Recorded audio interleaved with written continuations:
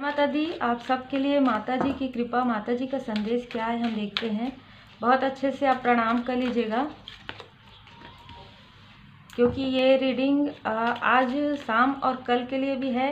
वैसे तो ये टाइमलेस रीडिंग रहता है, फिर भी मुझे ऐसा लग रहा है कुछ लोग अपने क्रिएटिविटी पर ध्यान दे रहे हैं और कुछ लोग कंपटीशन की तैयारी कर रहे हैं तो आपके लिए कहीं ना कहीं संदेश है कि आप पूरी तरीके से अच्छे से माता, सरस्वती माता जी का पूजन करें और जब आप पढ़ाई करने के लिए बैठते हैं या कोई भी कार्य जो आप सीख रहे हैं, मुझे ऐसा भी लग रहा है कुछ लोग कुछ क्रिएटिव फ़ील्ड में कुछ करना चाहते हैं और वो सीख रहे हैं, किसी भी प्रकार से, आप पेंटिंग हो सकता है, नृत्य हो सकता है, संगीत हो सकता है तो आप जब भी कुछ भी सीखें, कुछ भी पढ़ाई करें, उससे पहले आप माँ सरस्वती माता जी को प्रणाम कीजिएगा, गणपति जी को प्रणाम कीजिएगा, उसके बाद आप स्टार्ट कीजिएगा, आप देखेंगे, आपका जो कार्य है बिल्कुल बाधित नहीं होगा और बहुत अच्छे तरीके से कार्य होगा। कुछ लोगों के लिए मुझे ऐसा लग रहा है कि आप में से कुछ लोग ऑलरेडी एक लाइट वर्कर मुझे नज़र आ रहे हैं? किसी भी प्रकार से आप लोगों की मदद करते हैं?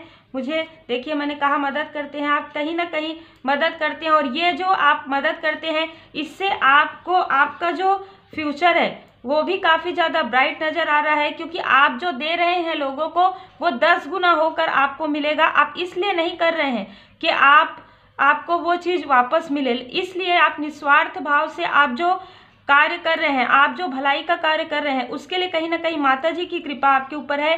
देखिए, आप माँ सरस्वती माता जी की कृपा, माँ लक्ष्मी माता जी की कृपा आपके ऊपर है और यहाँ पर हम देख सकते हैं मदर अर्थ। आप लोगों के लिए छोटा सा उपाय आ रहा है, जितने भी लोग आप पर्सनल रीडिंग के लिए देख रहे हैं या प्रोफेशनल के लिए, आप लोग मुझे ऐसा लग रहा है अपने सेहत का ध्यान रखिए। जहाँ जहाँ तक हो सके पौष्टिक भोजन आप कीजिए, वैसे भी कुछ लोग बहुत ज़्यादा ध्यान रख रहे हैं, ऐसे ही रखिए। और प्राकृतिक चीज़ों का प्रयोग बहुत अच्छे से, बहुत अच्छे तरीके से कीजिए। चाहे आप किसी भी प्रकार से फेस पर अप्लाई करते हैं या बालों पर अप्लाई करते हैं, प्राकृतिक चीज़ों का प्रयोग जितना ज़्यादा आप करेंगे खाने में, लगाने में, उतना ज़्यादा आपके लिए बहुत ज़्यादा अच्छा रहेगा। और कहीं ना कहीं मुझे ऐसा लग रहा है, आपके पर्सनल लाइफ में तो एक ग्रोथ स्टार्ट हो ही गया है। आपके प्रोफेशनल लाइफ में भी आने वाले पंद्रह दिन में मुझे नज़र आ रहा है कि आप में से कुछ लोगों को किसी भी प्रकार का कुछ अपॉर्चुनिटी प्राप्त होने वाला है। माता जी की कृपा आपके साथ है। आप जब सुबह जागते हैं, तब आप धरती माता का चरण स्पर्श ज़रूर कीजिएगा, टेक केयर।